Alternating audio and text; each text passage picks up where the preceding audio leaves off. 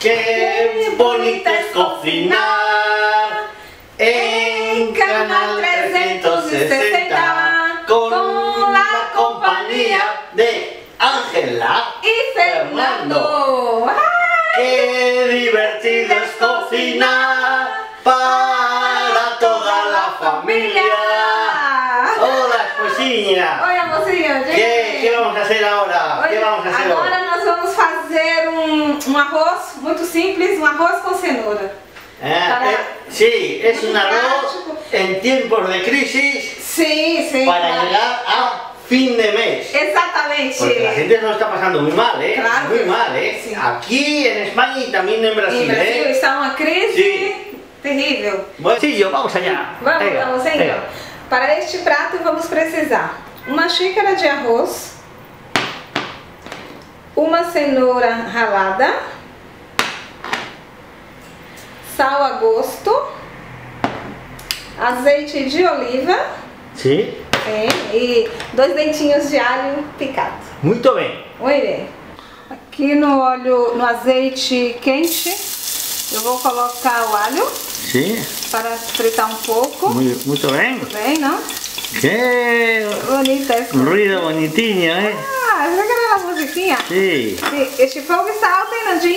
Uh! Sí, pues lo bajamos. Venga, ya está, ya está hecho. Y bájalo ya. Sim. Baja el fuego enseguida. Baja el fuego, baja el fuego más. Venga, damos vueltas.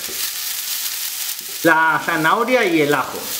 Sofreímos un poco, ¿verdad? Sim, Bien, muy bien. refogamos um pouco. A, eh, a continuación, ¿qué hacemos?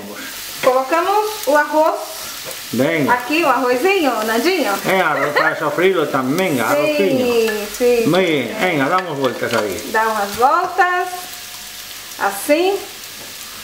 Damos uma volta, refogamos. Continuamos refogando.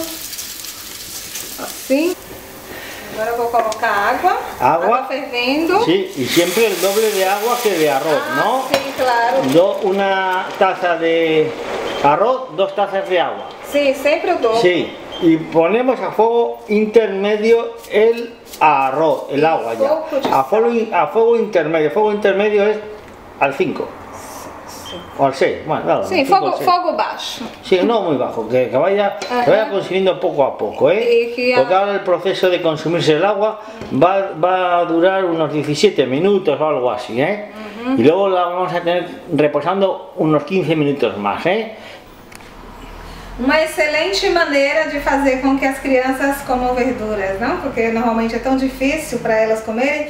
Então faz assim esse arroz com cenoura ralada. Então hum, fica maravilhoso e as crianças adoram. Y se puede acompañar para cualquier plato, ¿no? Sim, se pode acompanhar com qualquer prato. Hoje nós vamos acompanhar com as alitas ao estilo Fernandinho.